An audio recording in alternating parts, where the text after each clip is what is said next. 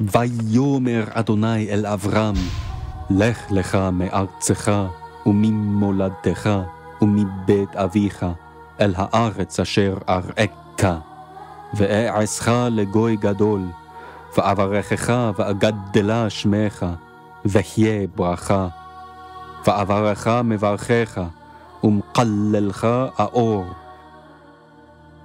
ונברחו בך כל משפחות האדמה.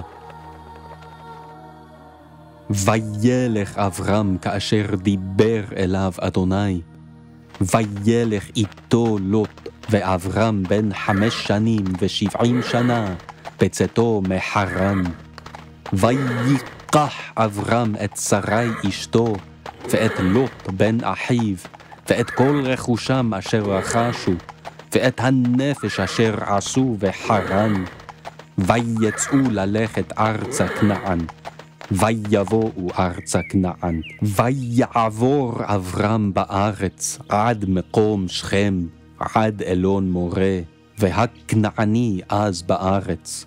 וירא אדוני אל אברהם, ויאמר, לזרעך אתן את הארץ הזאת. ויבן שם מזבח לאדוני, הנראה אליו.